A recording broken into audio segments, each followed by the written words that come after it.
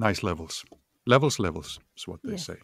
Okay, Are we good to go? we, I think we are good to Good. go. I'm just rambling on now. Verify, oh ready to resume the count and say go for launch.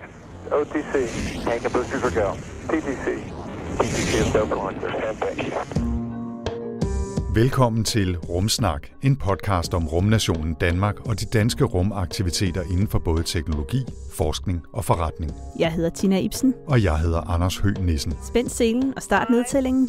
Vi er klar til affyring. Three, two, one, zero, and liftoff. Roger, zero G, and I feel fine. Velkommen til Rumsnak, hvor vi denne gang tager et kig på nærjordsobjekter. Vi har besøg i studiet af Carrie Nugent, der forsker i de asteroider og kometer, der kommer så tæt på jorden, at vi nok lige skal holde bare lidt øje med dem. Vi skal dog også have et par aktuelle nyheder og et par opfølgere. Så lad os komme i gang. Jeg hedder Anders Høgh Nissen. Og jeg hedder Tina Ibsen. Velkommen til. Three, two, one, zero, and liftoff. Og vi lægger altså ud med et par korte nyheder fra Rumland. Jeg starter lidt med et par opfølgere, ja. Anders, så kan du få lov til at, at tage den videre herfra. Vi vi har mange ting, vi skal følge op på. Vi har faktisk ret meget. Der sker ret der meget for sker tiden. virkelig, virkelig meget for tiden. Mm. Vi starter med Polaris Dawn-missionen. Ja. Den blev opsendt den 10. september og nåede efter opsendelsen op i en højde på 1400 km over jordens overflade. Og det er altså tre gange så højt op, som rumstationen er for jorden. Så det er det længst ude, man har været siden Apollo-missionerne. Og det her er mange år siden, skulle jeg helst sige. Det er, Det er 52, 72, 72 ja. sidste gang. ja, Ja, 52 år siden, jeg skulle lige sige. 72, ja. Fordi Yes. det var lige, lige efter, jeg blev født, jeg sagde, at jeg er ikke 72 endnu. Dog ikke.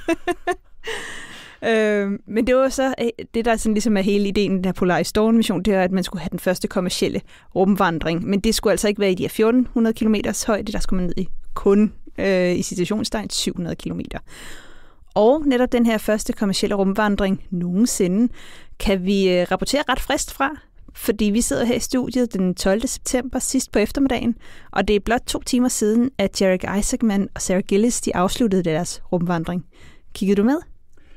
Kun meget lidt desværre øh, live, fordi jeg var på en konference, det vender vi tilbage til senere, i øvrigt kan jeg sige som en lille teaser.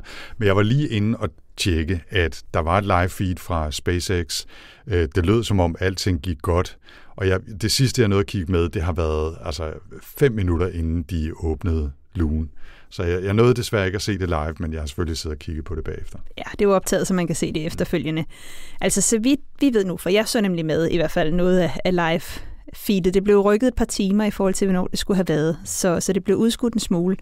Og så vidt vi ved, så gik det meste efter planen, og hele den her seance, hele den her rumvandring varede mindre end to timer. Isaacman, han måtte dog trække lugen, altså for at komme ud manuelt op, i stedet for at trykke på en knap, der den simpelthen ikke ville gå op. Så der var en af de her små glitches, der var. Og en anden, de har været ude, det er, at uh, Gillis, hun rapporterede, at hun så sådan nogle buler i lugepakningen, altså simpelthen det, der skal holde rumkapslen tæt, da hun var på vej ud på sin del. Så det var jo sådan, at Isaacman, han startede med at tage en tur ud, øh, og lige sådan kom, kom ud og hænge lidt øh, derude. Og der var han i 15 minutter, hvor han testede nogle ting. Så kom han jo så tilbage ind i rumkapslen, og så kom Sarah Gillis øh, ud. Og det var sådan nærmest sådan ved knæhøjde, hun var, øh, hun var ude. Så det er jo ikke sådan en rumvandring, som vi kender dem fra rumstationen, hvor de sådan virkelig kravler rundt øh, derude af. Så du, du så lidt bagefter. Hvad, hvad det tænker gør- du, Anders? Vi Ja, havde jo sådan lidt en, en diskussion om det her i, i sidste episode med, ja, i, med vi, det vi, hele. havde, vi havde det jo med i Rumnyt, øh, og, og der skulle opsendelsen jo for længst være sket. Og da vi så snakkede sammen, så var det meningen, det skulle ske dagen efter om lørdagen, og så blev det så udskudt til, øh, til i dag, torsdag, altså selve rumvandring og opsendelsen var tirsdag. Ja, præcis. Ja, ja. Men øh, altså på den ene side er det jo helt vildt, ikke? Altså det er helt vildt at sidde og se med, og nu så jeg så videoen med et par timers forsinkelse, men hvis man sidder og ser med live, så ja, det er svært ikke at blive lidt reddet med, synes jeg, ikke? Og du har også den der amerikanske, og så SpaceX, og USA, Ja, det- USA. Det de går meget, helt amok, ikke? meget overgivet, ikke? Og, og det er, men det er fantastisk at se, og det er jo bare fantastisk at se billeder af jorden opfra. Det er det bare altid, mm. ikke? Men måske er det så også omvendt temmelig undervældende, ikke? Fordi vi er jo vant til at se de der ting i science fiction film, og altså sådan super lækkert produceret, netop på rumvandring, og så svæver de afsted, eller har raketter på ryggen, og alt muligt andet, ikke? Og her der stod de og soppede lidt i rummet, i stedet for at svømme. Ikke? Altså, de stod jo og holdt fast i sådan, noget, sådan to rollator håndtag der, ikke? og så lidt blaffer med den ene arm, og lidt blaffer med den anden arm for at teste og sådan noget. Og det, jeg er så glad for, at man gør det, fordi det, det er en test. Ja, i forvejen være- var der jo masser af Ja. risici ved det her, ikke? Og man skal være så sikker som overhovedet muligt. Ikke? Så baby steps, og jeg er glad for, at det lykkedes, og det er fantastisk, men samtidig var det altså også en lille smule sjovt at se dem stå der som, som to pensionister, der sådan ikke rigtig turde slippe stokken, fordi de var bange for at vælte. Ikke? Eller bange for at dø, hvilket også er fair nok. Det, det er så okay. Hvad, hvad, hvad tænker du? Helt det samme. Øh, noget af det interessante, jeg også øh, har lagt mærke til de seneste dage, det er, har været en, en del af overskrifterne, der har været, øh, og også en del af de reaktioner. Altså, og hvordan det så var noget, der blev adresseret i dag, efter det er sket. Fordi det er altid det der med, hvad er optakten, og så er det gået godt, og hvad så er efterfølgende, ikke? Og optakten har der jo netop været meget den her The First High Risk Mission og Daredevils og hele denne her, ikke? Altså, som vi også talte lidt om sidste gang, øh, hvor den, det har jeg det sådan lidt svært ved. Øhm, så har der været mange, der har været ude at sige, okay, jamen, det her, altså, det er et rumskib, altså Dragon Capsule, der er bygget om på to og et halvt år. Det er en rumdragt, der er designet og aldrig testet i rummet på to og et halvt år. Altså, det er virkelig gået hurtigt, og har man lavet alle de her checks osv. Og jeg læste, der var nogen, der argumenterede for, at det kommer til at gå lige så hurtigt, indtil det en dag går galt. Og det er jo det, man har set, hvis vi kigger tilbage i, i rumfarten også, at vi har jo haft episoder, hvor det er gået rigtig galt, og der er folk, der har mistet livet. Ikke? Så, så der er mange, der siger, okay, det her var starten, det gik godt. Hvornår er det, det går galt, hvis man bliver ved med at skubbe til det på den her måde? Det bliver interessant, om det er noget, der bliver ved med at være i, i samtalen også. Nu gik det jo rigtig godt, og det kan jo godt være, at de har fundet den gyldne formel til, hvordan det her kan lade sig gøre. Så, så det var super spændende, og, og det bliver også interessant at se, om de vil... SpaceX har jo egentlig været ret gode til også at frigive de ting, der ikke har fungeret særlig godt. Og der var jo så allerede nogle ting, hvor de sagde, okay, her, her der var nogle glitches og noget, der ikke gik øh, efter planen. Og det bliver interessant, om de jo også vil være villige til at dele ja. det på sigt. Og i talende stund skal vi måske lige igen sige, at øh, de er stadigvæk deroppe. Ja. Øh, de mangler halvanden, to dage med eksperimenter og alle de her øh, forsøg, de skal lave deroppe. Ikke? Og det rapporterer vi selvfølgelig mere om i den næste episode af Rumnyt, bliver det så, hvor vi garanteret får en opfølgning mere på Polaris Dawn, og forhåbentlig også en, en god landing igen i havet ud for Florida. Præcis. Vi har en øh, opfølger mere, Tina. Det har vi. Det er øh, konkurrenten, kan man godt sige. øh, det er nemlig, øh, jeg vil næsten kalde den Starliner Sagaen. Øh, jeg synes, vi er ved at være der. The Days of Our Starliner, eller et eller andet. Øh, fordi den 7. september, der ankom Starliner tilbage til jordens overflade, men altså uden de to astronauter, der, som øh, rumfartøjet havde haft med op til rumstationen. Fordi NASA og Boeing havde i fællesskab vurderet, at det simpelthen ikke var sikkert nok at få, altså, lade astronauterne vende tilbage i Starliner.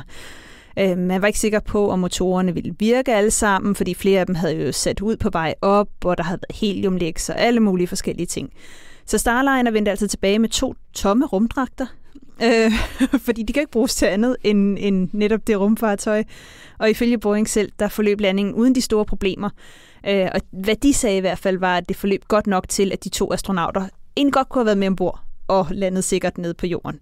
Så næste fase er jo så nu, at NASA og Boeing de skal evaluere den her test, flyvning og landing, og så få lavet en plan om, hvad der så skal ske. Og de to astronauter, de vil jo så vende hjem med Crew 9, der opsendes til rumstationen her senere i september.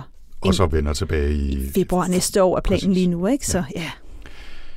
Ja, der sker noget. Og Det må man øh, sige. så to opfølgninger, og så den første regulære nyhed i den her episode af Rumsnak er i virkeligheden øh, i samme sfære.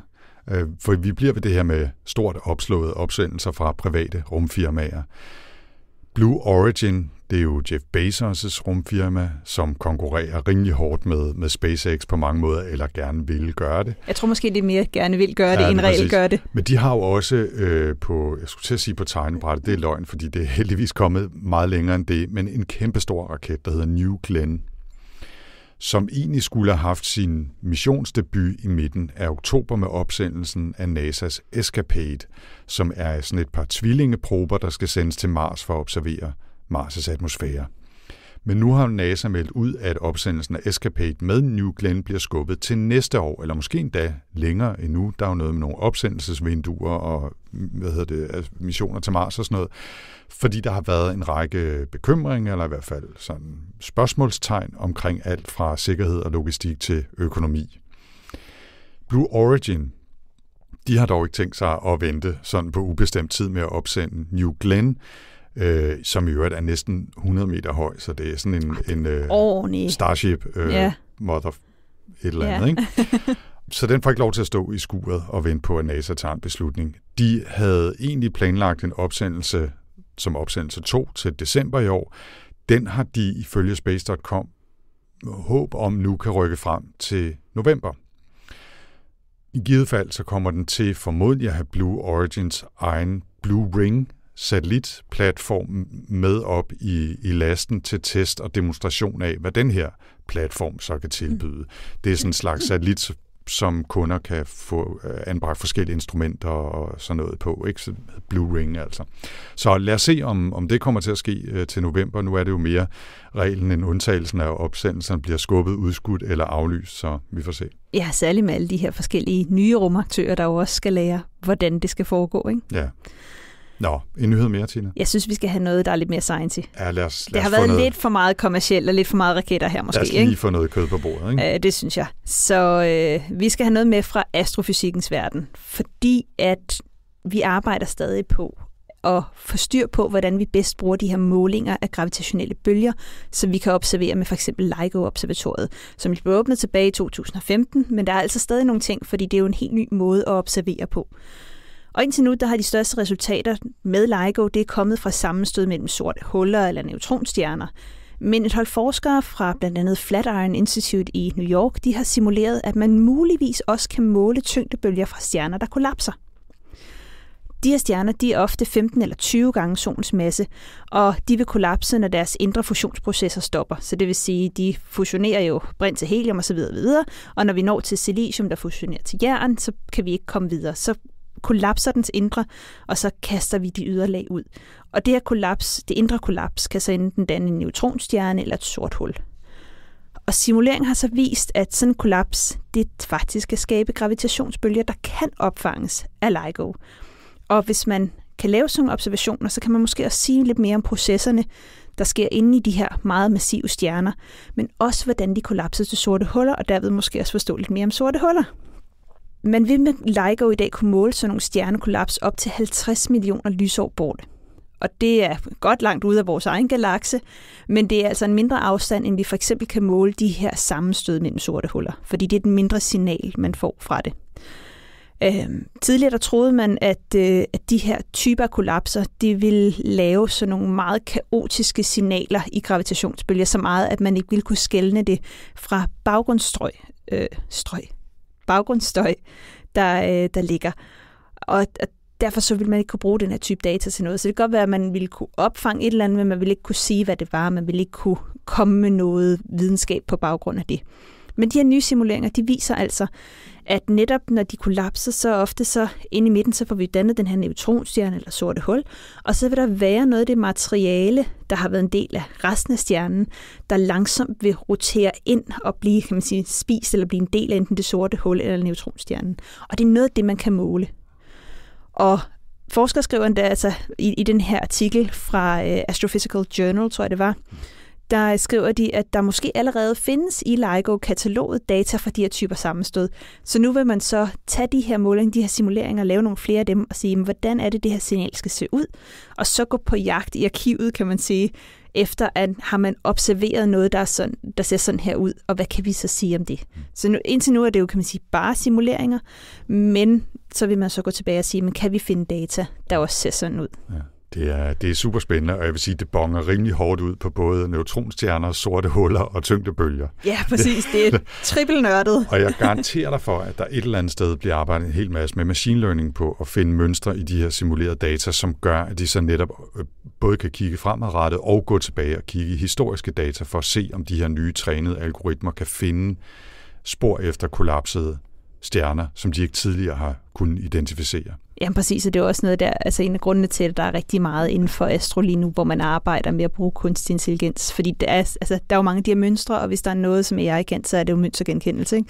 Så ja, så det, der, der fik vi lige en, en god gang øh, nørdning her. Ja, det vil jeg sige. Og så en øh, nyhed herhjemmefra, hvor der er godt nyt og potentielt også penge til danske virksomheder, som vil kaste sig ud i at arbejde med rumteknologi. Space Commercialization Denmark, eller SCDK, som er væsentligt nemmere at sige, øh, er netop blevet lanceret. Det er et øh, nyt offentlig-privat partnerskab mellem Uddannelses- og Forskningsministeriet, ESA, og så DTU, Aalborg Universitet, Aarhus Universitet og Syddansk Universitet og Industriens Fond. Og målet med det her projekt er at hjælpe danske virksomheder med at udforske mulighederne i både ny og eksisterende rumteknologi i deres forretning ved at bruge data eller ved at udvikle dele til satellitter eller droner eller raketter eller hvad det nu kan være. Og den samlede ramme for det her projekt er knap 70 millioner over fire år. Og målet er, at mindst 500 danske virksomheder skal igennem en eller anden form for forløb, hvor de får viden om, hvad det er for nogle muligheder, der er i både upstream og downstream, øh, og at 100 virksomheder bliver involveret eller engageret i konkrete innovationsprojekter, altså større eller mindre pilotprojekter, øh, kan man sige. Ikke? Så det er altså noget andet end det her Business Incubation Center, ja. som der også ligger, ikke? Det, det, er, det er noget andet. Altså det er relateret, kan man sige, ikke? men ideen er her at gå ud og få fat i danske virksomheder og vise dem, hvilke muligheder der er i rumteknologi. Ja, så man tager fat snarere i... end at vente på startups, der kommer med gode idéer til rumteknologi. Ja, så man har hele startup-delen, og så har man også at sige, at de etablerede virksomheder, ja. I kan også bruge rumfart på en Præcis. anden måde. Ikke? Ja. Øh, det sjove er lidt, at jeg i talende stund, øh, som jeg nævnte tidligere, lige er kommet tilbage fra en konference. Øh, det var den, der hedder Tech Barbecue, som øh, fandt sted ude i Lokomotivværkstedet her i København. Og der var uddannelsesforskningsminister øh, Christina Elund, Thomas Hoffmann Bang fra Industriens Fond og Marianne Tellersen fra DTU øh, til stede i et panel og talte lige præcis om det her med, at der skulle flere penge til at styrke fokus på rumteknologi i danske virksomheder, og så kom annonceringen af det her altså lige i halen på det her øh, panel. Så det var meget sjovt at, at lidt føle, at, øh, at jeg har været til stede. Jeg føler nærmest, at vi har gjort os fortjent til nogle af de der 70 millioner, men det er måske en snak en anden god gang. Halvdelen er fint. Ja, og, og jeg synes faktisk, det er, det er rigtig fint. Vi har jo mange gange slået på trummen for, at der skulle investeres mere i rumbranchen i, i Danmark bredt, og nu er der så i hvert fald kommet 70 millioner mere i spil, og det er dog immer væk en slat, trods alt. Ja, og der, der var allerede nogen, der var ude og sige, hvorfor går de ikke til ISA og det samarbejde der, ikke? Altså, så der, der er jo altid interessante ting, og, og det er også at sige, hvor skal man så smide de her penge? Øh, men, men jeg ved, der er meget i Danmark, også med hele den store medicinalindustri, hvor der slet ikke er nogen af de store virksomheder, som jo er nogle af verdens største inden for de her felter, der gør brug af rumteknologi. Så jeg kunne forestille mig også, der er et ønske om at få nogle af de her store spillere, som Novo, Leo, øh, Lundbæk, så videre, hvad de ellers hedder, ind og, øh, og begynder at kigge på rumfart. Ja, og så kan man jo altid også diskutere spørgsmål om uddannelse, og hvem er det, der skal lave alt det her, så videre. Ikke? Men det er måske også der, hvor det her er interessant, fordi de så specifikt målretter den her pulje af penge til virksomheder, mm. som jo allerede eksisterer, ikke? og som så kan udforske potentialet i rumteknologi i forhold til deres egen branche. Det synes jeg skulle er meget sjovt tænkt. Altså. Ja, bestemt. Så, ja. Jeg har en enkelt bonus med i dag, Tina. Det får du lov til. NASA er jo for tiden i gang med at teste et solsejl på øh, ACS-3-fartøjet, som blev opsendt i april som en øh, 12U CubeSat, i øvrigt på en Rocket Lab-raket, øh, så ikke en SpaceX-raket for en gang skyld. øhm, og inde i den her CubeSat, der lå altså det her cirka 80 kvadratmeter store solsejl, som blev udfoldet her den 29. august. Et solsejl er jo sagt meget kort ligesom et vindsejl på en båd, altså en stor flade af et let og stærkt materiale, som bliver skubbet af vind, eller i det her tilfælde af fotoner fra solens stråling, altså af solvind, kan man sige. Ikke? Ideen med det her øh, projekt, SES-3-fartøjet, er at samle data om, hvordan sådan et solsejl fungerer som fremdriftsmiddel, fordi håbet er, at det kan være en, en form for billig og nem måde at drive fremtidige rumfartøjer på lange missioner, så man ikke nødvendigvis skal have en reaktor i maven, eller store batterier, eller raketter, eller hvad man nu ellers øh, kunne forestille sig. Så øh, hvis det skal bruges til noget i praksis, og flytte noget andet end bare sådan en lille CubeSat, så skal det være meget, meget større end 80 kvadratmeter. Men man kan jo samle data om, hvordan det fungerer, og hvordan udfoldningen foregår, og hvor, hvor stor øh, øh, fart man kan opnå, osv. osv. Det er altså det, som, som, øh, som man vil gøre i det her projekt. Nå, alt sammen bare for at sige, at bonusen, bonusen egentlig er, at hvis man henter NASA's smartphone-app, der både kommer til iOS og til Android, så kan man faktisk blive guidet til, hvor, at se, hvor SAS-3-fartøjet befinder sig henne de kommende dage og uger. Fordi hvis man er heldig, så kan man faktisk se solen blive reflekteret fra det her solsejl, og så vil det faktisk kunne ses med det blotte øje nede fra jorden, hvis man altså er heldig at stå lige det rigtige sted. Mm. Øh, og hvis man henter NASA's øh, app, så kan man altså, øh, ligesom man kan følge med i, hvor er ISS henne, øh, se hvor er solsejlet henne de kommende dage, og se om man er heldig nok til måske at få et øh, glimt af det. Og ved vi, hvor længe det skal være i kredsløb? Nogen ved det helt afgjort. Nå, jeg har det glemt fint. det, så øh, det er jeg rigtig glad for, at du spurgte om. Men øh, vi linker i hvert fald til appen og instruktionerne fra vores show notes, så kan man selv orientere sig. Det lyder godt. Alright. Som et lille fast element, så minder vi jo selvfølgelig også om, at vi den 22. oktober holder et galaktisk galashow i Bremen Teater. Der fejrer vi, at Rumsnak har udgivet 100 episoder. Der er stadig pladser at få, og øh, du kan finde link til billetterne på vores hjemmeside, øh, rumsnak.dk, eller direkte på Bremen Teaters hjemmeside. Vi håber at se jer derinde. Og som et lille kig bag kulissen kan jeg sige, at det er ikke mange dage siden, vi sad og lagde et lidt mere detaljeret program. Og der er altså guf. Det bliver sjovt. Jamen, øh, hvis jeg ikke skulle, skulle være med, så, så ville jeg være gæst. skal, vi ikke bare, øh, skal vi ikke bare blive gæster selv, og så... Øh... Sæt os ned på første Ja, række på præcis. reserverede pladser. Så make it work. Kom så. Ja, præcis. Nej, vi skal, vi skal også selv stå på scenen og øh, fejre os selv lidt. Ja, Vi, Og- vi klapper os selv lidt på skulderen og siger, godt gået, rumsnak. ja, og tak for alle jer, der har hjulpet og været med og lyttet med og sådan noget. Ikke mindst. Det er i virkeligheden til jer, at vi holder show. Okay, Houston, the uh, computer looks good here. Og lad os så komme i gang, Tina, med dagens emne, nemlig Near Earth Objects, nærjordsobjekter, eller måske bare NEO mellem venner. Ja, for betegnelsen dækker over asteroider og kometer, der i løbet af deres bane kommer tæt på jorden, eller i hvert fald inden for cirka en astronomisk enheds afstand fra solen. Det er jo den afstand, jorden ligger. Udover alle de her ting, som objekterne kan fortælle os om solsystemets udvikling og opbygning, så er det altså også objekter, der kan være smart at holde øje med, netop fordi de er så tæt på og kan risikere at ramme jorden. Ja, så sent som i begyndelsen af september her i år, der var astronauten Matthew Dominic op på ISS heldig nok til at tage nogle ret fine sådan timelapse øh, videobilleder af en meteor, der ramte atmosfæren og eksploderede i en ildkugle uden at gøre skade på, på noget. Der den røg ned, den eksploderede i atmosfæren, men han var heldig nok til at, at lave en, en lille video, man kan se sådan en grønt glimt. Ej, det er ret Øh, fedt. Det er ret cool, ikke? Og, og faktisk så går der jo sjældent særlig mange uger øh, mellem historier om forbipasserende asteroider eller kometer eller meteorer, der lyser op på himlen, og vi lever i et solsystem med masser af sten og klippestykker, som suser rundt alle vejen, og derfor så bliver der altså også arbejdet hårdt på at opdage dem og holde styr på, hvor de er henne, fordi hvis de først ryger ned gennem atmosfæren og er store nok til at holde til det og ramme jorden, så kan det jo øh, få katastrofale konsekvenser. Vi har talt med professor Carrie Nugent, der til hverdag arbejder på Olin College of Engineering i Massachusetts, øh, knap 30 km west, west, West. west for Boston. Men øh, som i foråret altså var gæsteforsker på Aalborg Universitet. Og på den måde der gav det altså, altså en undskyldning for at tale med hende, selvom det kun blev via en fjernoptagelse.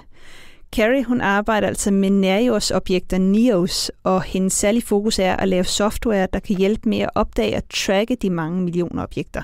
Men lad os først begynde med en introduktion til Carrie og til Near Earth Objects, og til hvorfor det er så vigtigt at holde styr på dem. Three, two, one, zero, and liftoff.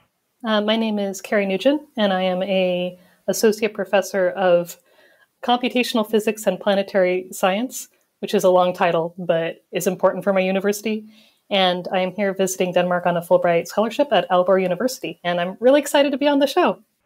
And tell me a bit more about your research. What what are your areas of interest, broadly speaking?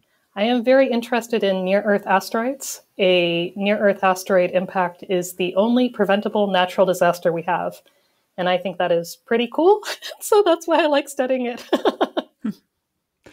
And you've spent, uh, I believe, six months in Aalborg yeah. as a as a Fulbright scholar. You mentioned uh, why here and what have you been working on? number one, I'm just very excited to get to live in Denmark for a while. Um, so I work at Olin College, and uh, that's an engineering school which has a lot of emphasis on project-based learning. And so Aalborg University also has a very famous engineering program with project-based learning. Um, and so I've come here to do some research with students, but also kind of learn about the project based learning here, which has been really interesting. So I've been working with two groups of students who just passed their exams. Congratulations. And this has mostly been on things involving near Earth asteroids, and these are physics students. So you have been combining uh, space stuff and project-based learning uh, exactly. here as well. Yeah. Yeah. So one group um, worked on uh, machine learning screening for finding asteroids. So we were both doing kind of that project about that research thing, but I was also kind of on a higher level trying to figure out how projects work here. And then the other group uh, calculated the impact risk um, in a new way uh, for asteroids hitting the Earth, and that was a bachelor's level project. And again, you know, I was interested in that research and working with the students, but also kind of figuring out how projects are managed and how they're they're done here, which was really really a cool thing. Three, two, one, zero, and liftoff. Could you kind of briefly describe to us what are near Earth objects? So your listeners may be familiar with the idea of an astronomical unit or an AU. That's the average distance between the Earth and the Sun. A near Earth object is an asteroid or a comet, so a big piece of rock or metal or rock and ice that has its closest approach to the sun less than 1.3 AU. That's the technical definition. I'd say broadly, they are the asteroids that kind of hang out in Earth's neighborhood. Um, maybe people are familiar with the main belt of asteroids between Mars and Jupiter. That's where most of them are. This is kind of a different group. Those are the ones that are hanging around the Earth and could possibly pose an impact threat. So, um, Kerry, uh, tell me a bit more about the different types of near the Earth objects that both asteroids and comets and perhaps other stuff as well.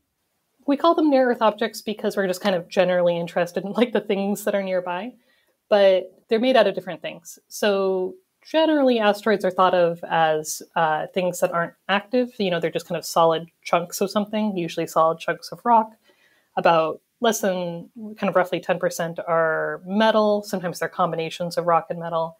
Um, comets have uh, volatiles on them, or you know, like frozen water, frozen CO2, which we also call dry ice, um, frozen CO. And when those volatiles get close to the sun, they sublimate. They go from a solid to a gas, and they take a lot of dust with them, and they form these kind of uh, coma. So the the object gets brighter, or sometimes a beautiful comet tail, which people I'm sure have seen pictures of. Um, so that's kind of how things are divided up. I will say, practically, the line between a comet and an asteroid is very blurred. Uh, so, for example, Phaeton, 3200 Phaeton, there was a paper by Jewett and Liu um, that showed that it was a rock comet. So it gets really, really close to the sun. And as it's heating up from the sun, the rock fractures and then there's dust. And so it creates kind of like a comet like coma, but it, there's not thought to be any ice in there, for example. There's also like what we call uh, dead comets or extinct comets that used to have maybe uh, volatiles, but now aren't active anymore. Scientists like to divide things into categories, but then as you study it more, you find all these things that are kind of in the middle as well. It's always a spectrum, right? So, what are the kind of uh, size range of where we should be worried uh, if it hits the Earth? So, the community has come together and we've decided that 140 meters, bigger than that, those are the ones we really want to find. There's a uh, US congressional mandate actually for NASA to find a significant portion of 140 meter asteroids, and that's why we're, we're checking on them. 140 meters is big enough to do a lot of damage to a country, roughly. Um, and so that's kind of a really important thing to, to keep in mind. And those are the, what we're really taking a look at right now.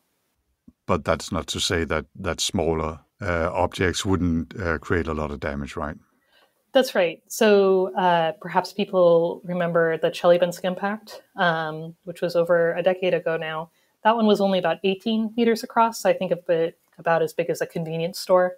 Um, and nobody died, thankfully for that, but it did cause some damage. And so you can imagine that there's a range between, you know, 20 meters and 140 meters that you, you would still like to know about. Um, and we still are discovering those on our way to to finding the bigger ones, but we're focusing on the big ones right now. Yeah. As a tangent, uh, when we are watching these uh, objects, uh, asteroids and, and comets and, and so on, what can we learn from those observations other than just uh, tracking them to hopefully uh, make sure they don't hit us in the head? I'm so glad you asked. Asteroids are interesting uh, for lots of reasons. So one interesting thing about them is is that they are very old material, um, particularly a type of a kind of group of asteroids that are made out of chondrites or chondritic material. Um, chondrites are these little spheres that are you know smaller than my my pinky nail, and they are the first kind of solid material that formed in our solar system. So they're extremely old and they've never been uh, chemically changed by water or by heat. Um, and so, if you can study those those asteroids, you can really figure out how planets were made because this is like the building blocks of planets and ever made it bigger. There's also a lot of interest in kind of studying the history of the solar system. Where did the planets originally form? Was there maybe another planet that's not here anymore? And uh, asteroids kind of have the clues to how our early solar system was because they're always like moved around by when the planets move. Um, and so there's a lot of interest in finding specific parts of the solar system that have not that have like particular orbits that haven't been changed very much and looking at the asteroids there. Um, so they're they're very important in kind of the history and like learning how the planets came to be and how we came to be. Um, and a lot of people like them for that reason. So, do you have a favorite asteroid? Oh man, how could how could I choose? I think Phaeton is pretty cool. I like how it gets pretty hot. um, it has a weird orbit. Um, there's Dioestra, which I'm not saying probably quite right, but that is the name of it is the name asteroid backwards, and that was the first one that was discovered going around the sun in a different direction than the planets and most of the asteroids. It's called a retrograde orbit. Um, I think that one's kind of cool. I like it. I think it has a great name, so that one also stands out. But I mean, you know, it's like picking a favorite child. like picking a favorite child among thirty-six thousand children. Exactly. Ja, ja. Ja, der er altså millioner af objekter relativt tæt på jorden, og selvom det er langt fra af dem alle, der skal betragtes som trusler, så kan selv mindre objekter jo skabe masser af kaos og ødelæggelse, hvis de slipper ned gennem atmosfæren. Og det er også derfor, at der var så meget begejstring, da det lykkedes startmissionen at ramme asteroidemånen Dimorphos for i år, og skubbe til den, så den ændrede kurs om sin partner Didymos. Men lad os vende tilbage til Karen Nugent og høre mere om, hvordan man så tracker de her mange nærjordsobjekter. Og hun fortæller også om sin egen software og om de studerende fra Aalborg Universitet, som hun har arbejdet sammen med deroppe under sit ophold her i foråret. So there's uh, several teams of uh, scientists, um, astronomers, and software engineers who operate uh, these telescope surveys. They're called Near Earth Asteroid Discovery Surveys. These are mostly US uh, funded. Over 95% of near Earth asteroids have been discovered by NASA funded surveys. So there's like the Catalina Sky Survey, there's Atlas, there's Pan-STARRS, there's NEOWISE. Um, there's several of these that scan the sky every night um, looking for new asteroids and tracking the old ones. And they do this by taking pictures of the sky. And usually, what they'll do is they'll take a picture and they'll wait a little bit and they'll take another picture and they'll wait a little bit and they'll take a third or a fourth picture. And if you compare those pictures, all of the stars stay still relative to each other, but the asteroid moves between them. And then they use software to pull those asteroids out. They report it to a place called the Minor Planet Center, which is this international kind of library of all the observations. And they keep track of them um, and identify new asteroids and do all of that bookkeeping with all of these observations. Um, as of today, the Minor Planet Center has 448 million observations um, in its database. So this is something that is being done all the time. Once you have enough observations, you can calculate an orbit. For a well-studied uh, asteroid, we can predict where they're going for hundreds of years with by fitting an orbit to all of these observations. So that's kind of the the mechanics of how it works. It's a it's a lot of teamwork by a lot of people. So it's basically just kind of pictures from optical telescopes that are compared. That's right, um, with the exception of NEOWISE, which is an infrared space-based telescope.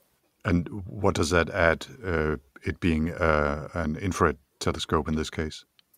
Uh, asteroids um, can be are usually gray, different shades of gray, sometimes a little brown. Um, if you talk to certain people, they get very into their colors, but but that's the gist of it. But they can be light in color or dark in color, and they can be as dark as printer ink.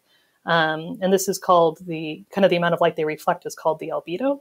And if you discover something in an optical telescope, you cannot tell uh, how big it is exactly, right? You kind of can have a range. You can say that it's maybe really bright and really small, or really big and really dim. Um, and the infrared measurement allows you to get out of the size, which is a particular value of that spacecraft. You mentioned somewhere north of 400 million, I believe, observations. How does that compare to what we think is out there?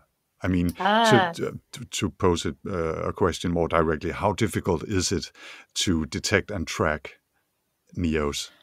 So I was work. I'm, I'm working on my own software now, and I'm having a hard time with it. so, so sometimes it's really hard, um, but but it is like an expertise that's been developed, and it's being done very successfully. So in terms of near Earth asteroids, we've discovered over 35,000 of them, and in fact, today's number is 35,253 because we're recording in June uh, 2024. Tomorrow it'll be different, um, but but we do have a sense that there's kind of the a difference in sizes, right? There's fewer big asteroids and more small asteroids. It's like if you break a vase, you might have one big piece and a bunch of really small pieces. Um, if you just look at the asteroids that are 140 meters or bigger, um, we've discovered a little less than half of them, we think. Is there a lower limit to the size of what we can actually see? Yeah, it depends on you know your telescope that you're using, but it's not too uncommon to discover very close asteroids that are less than one meter across right before they hit. Um, in terms of things in space, we know several that are like tens of meters across. Um, and the telescopes are just getting better and better. The work everyone's doing is very impressive in that field. Three, two, one, zero, and liftoff. So, Carrie, um, you mentioned computational methods, I believe, earlier, and, and I think that's your main area of research, right? So, can you introduce us to what that means, please? So, as you can imagine, when you know I'm spouting these numbers off, we can't be keeping track of these by hand. There was like an era where every asteroid scientist knew the names of every asteroid that has like been over for a while, and so you know keeping track of these orbits uh, and finding these asteroids and images is always like a computational problem. Um, all of the surveys take digital images, um, and so these are processed through what we call software pipelines um, that do various things to turn the actual image into asteroid detections.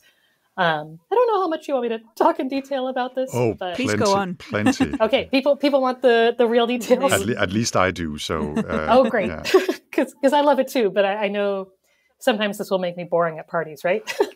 um, This is the right party to go to. Our listeners Okay, love to get all the nerdy stuff. I love it. I love this party. I'm, I'm at the right place. Um, so the work in particular that I've been doing involves a data set. It's called NEAT. It's called a Near Earth Asteroid Tracking Program. And this is something that operated in the 90s and the early 2000s. Um, and they took pictures of the sky and they found asteroids. And in fact, they've found a ton of near Earth asteroids. A lot of the ones we know about were found by NEAT. They were also one of the first asteroid surveys ever to use uh, digital cameras. Before that, people would use film. Um, they would take a film exposure of the sky, usually working in teams where they take an exposure, somebody would develop it, they would put it into a special device to find the asteroids. It was a whole thing. But NEAT was one of the first to transition towards these digital detectors. Um, so all of that data was archived um, on the Planetary Data System Small Bodies node, and it's available to anybody who has an internet connection. Um, you can download the images. And what I've been doing is I've been taking this archived data and I've been having to write new software because the old software was not archived, and I'm trying to find the asteroids uh, in them. It has been very humbling. I was like, I think I can do this. And then several times in the project, I was like, this is extremely hard. And maybe that's just me, but uh, but it's it's really been a challenge for me. So I've written uh, several pieces of software which I can I can walk through. So um, the the images, these sky images look very different than modern telescope images, right? These CCDs are like really old. Anybody with like a DSLR camera on their telescope has way better images than what I'm dealing with. There's a lot of weird stuff going on here, but basically, you know, I can do background subtraction. Um, I figure out, I calibrate the positions of the stars in the image. Um, I do that by comparing to the Gaia catalog. And then what I do is I remove any known stars from the image. I compare it again to the Gaia catalog and I take out all the stars. And so hopefully then I am left with just asteroids and other things like cosmic rays or like a weird CCD feature where you have a bright star and then you have like bleeding over to the side and you have like a streak. Um, there's all types of things like that. So I process them and then I use a machine learning trained model, which takes looks at these kind of thumbnails of all the remaining little sources that I find, and it tells me whether it's an asteroid or not. That model was created by two Aalborg students um, here, and they did a great job. So that's that's working now. Um, and then I kind of get a list of possible asteroids that were in each picture. Then what you have to do is you can't just be like, this is an asteroid and give that to the Minor Planet Center because that your error rate is too high. There's too many too many things in the sky, you know, satellites, other things that could be mistaken. So what you need is to link the asteroids uh, detections into what's called a tracklet. You need to make a group of three. Um, and so you need something called linking software, which kind of looks for things on asteroid-like paths and puts them in these groups of three. When I started this project, there was no publicly available linking software. A student of mine, Nicole Tan, who's now a grad student at the University of Canterbury, uh, she wrote the first version of what we were calling Find Potatoes mm-hmm. because asteroids look like potatoes. Um, it's an acronym which I actually can't even remember right now. Uh, so she wrote Find Potatoes. I've also improved Find Potatoes to make it a little faster. So we use this linking software, which is now freely available on GitHub, um, called Find Potatoes, to to take kind of three groups of sources from three images and link them into tracklets. Um, they put it in the proper format that the Minor Planet Center requires and um, it also produces like diagnostic images so that I can look at them and see if it physically looks like an asteroid or if some other weird feature wasn't picked up by the pipeline. And these have to be screened by hand. So, so that's kind of how you do it. So then, after I screen the results of Find Potatoes by eye um, and sort them into things that I think are good or bad, um, then they go to the Minor Planet Center. Um, and honestly, as I've been developing this, sometimes the Minor Planet Center is like, these are no good. and then I have to fix a problem. But finally, just like in the last couple weeks, I've been like, well, do you like these minor planet center? And they've been like, yes, these are good. So that's basically the routine of it. And this is how it's done at most um, most major surveys as well. But they have, you know, they've been doing this for decades and they have their software all like perfectly tuned and it's super fast. you mentioned you you work primarily or, or exclusively with with NEAT data. Yeah, so far. how do you think your software can be used or will perform on newer data? That's a great question. My software is never going to, I think, be useful to the big asteroid surveys, right? They have their own software engineers, they've got they've got everything they need. But I am hoping my software can be used for students and for astronomers who want to find asteroids in their data, but they're not asteroid astronomers, right? They're like extragalactic astronomers, but they're like, is that an asteroid? Oh, I'd love to take a measurement of that. Um, I'm trying to make it user friendly. Um, so putting it all on GitHub and it's all written in Python as opposed to like Fortran, which makes it a little easier for a lot of students. Um, that's my real goal. Uh, it's my software is not the fastest in the world, but it is okay for archival data and it's okay for small data sets um, where you don't have to have a turnaround of everything in one night, right? You can take like two days to do your analysis. So that's my hope is to make this kind of a little more accessible for everyone. I mean, hopefully written in a way that it's not just tailored towards NEAT, it's like broadly applicable. And then I hope to work through other data sets um, as after I've made my way through NEAT, which is going to take me quite a while. Maybe I won't get there, but but that's the that's the hope. And how many have you found? How many new NEOs have you found found in this project? None that have been confirmed yet. Basically, I'll need more data to be processed before we'll be able to even have a chance of finding a new one. But the good news is, is that we are finding uh, double the number of detections that NEAT was able to find. So they s- submitted a group of like maybe, you know, uh, 5,000 for one night. And I'm finding those 5,000 and 5,000 new observations. So far, those have all been mostly of known asteroids, which makes sense. You know, there's so many known asteroids that you're going to find those first. Uh, but we are like bringing kind of value to this reprocessing. Three, two, one, zero, and liftoff. And just to return to uh, the work you've been doing in, in Aalborg with, with the students, uh, could you go into a few more details about some of the things that they've been doing uh, with you? Um, so there was a master's group who did really incredible work um, in, incorporating this kind of machine learning step where you can screen the sources based on their appearance in a, in a little thumbnail cutout around them. Um, and that was really good. They experimented with two types of machine learning models, um, and they both got, you know, those two models both got good results. And then the other group, um, I'm just going to be a little vague here. I'm sorry because it's because I want to make sure that it's peer reviewed before I talk about it too much. But the other group used a new method to calculate the impact risk from asteroids. And so that took, um, it basically took a, a population of simulated asteroids, um, 5 million of them, and they calculated whether any of them would hit Earth. So these aren't real asteroids that we know of. This is like 5 million asteroids that are similar, but not the same as the ones we know about. Um, and they calculated an impact risk, which is in line with previous estimates. Um, and that was a bachelor's group of six students, uh, which was really interesting. And they took the project in a lot of interesting directions. They really wanted to learn about how do asteroids go from the main belt into near Earth space? Um, how do you calculate an orbit? Uh, what are the conventions for defining an orbit? Um, they were they're putting all their results into a SQL database, which they decided to do on their own, which I was very impressed with because that's not that's not a trivial amount of work. Um, so yeah, so I hope to write that up and get that published, hopefully in a couple months. Um, you know, if the reviewers agree. but but that was a really fun thing to work on with them. And and just to finish up that that sort of thread, um, the the work that you've been doing in, in Aalborg with the students is that something that's going to end up in in your software and your work as well? Yeah. So the bachelor's project will hopefully be just a published paper. But the master's project with the machine learning I'm using right now, and it's excellent. And in fact, I was using it since I believe February when they finished it a little early. Um, so that's awesome. And those those students now have their names on the submissions that are going to the Minor Planet Center, which I think is kind of fun.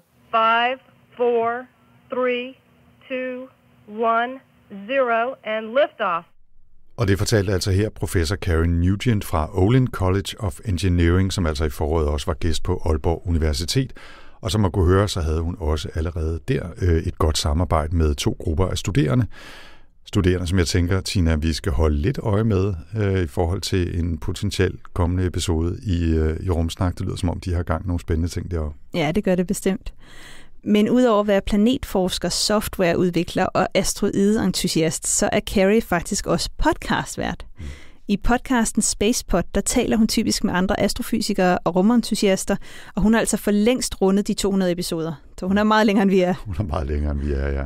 Hvis man hænger på, efter vi har øh, sagt tak for den her gang, lige om lidt, så kan man høre en lille bonusbid fra vores interview med Carrie, hvor hun fortæller om Spacepod, og også om, hvorfor hun altid beder sin gæst om at have en lille drink med til optagelsen. Spændende. Det kunne være, at vi skulle øh, kopiere den ved lejlighed. Det synes jeg er en god, en god tradition. Men husk altså, at selvom man altid bør selvfølgelig lytte til Rumsnak og Rumnyt, så det er altså også helt okay at lytte til andre rumpodcasts derude. Vi bliver ikke sure. I har fået lov. Okay, it's a nice ride up to now. Og med det er Rumsnak landet for denne gang, men vi er selvfølgelig tilbage igen om en uge med en ny omgang Rumnyt. Hvis du vil vide mere om nyhederne og selvfølgelig om nærjordsobjekter og tracking software og NeoWise-teleskopet og alt det andet, vi har hørt om i den her episode, så husk at tjekke show notes til podcasten, hvor vi linker til mere information om det hele. Og så vender Rumsnak Classic tilbage igen den 30. september, hvor vi ifølge de aktuelle planer i hvert fald ser nærmere på nogle af de sociale, politiske og etiske aspekter af især den private rumfart. Hvis man i mellemtiden gerne vil vide mere om Rumsnak, så findes vi som altid på Facebook, Instagram og LinkedIn. Og vi har også vores egen hjemmeside, som det hed i de gode gamle dage, på rumsnak.dk. Hvis man har spørgsmål eller kommentarer til os, så kan man sende en mail til infosnabelagrumsnak.dk, eller man kan skrive til os på en af vores sociale medier. Og som altid, husk, at hvis du synes, det har været spændende at lytte til Rumsnak eller vores nye Rumnyt episoder, så er du meget velkommen til at dele med familie, venner, kolleger og andre nysgerrige. Rumsnak er støttet af Novo Nordisk Fonden og bliver produceret af Potlab. Jeg hedder Tina Ibsen. Og jeg hedder Anders Høgh Nissen. Tak for denne gang.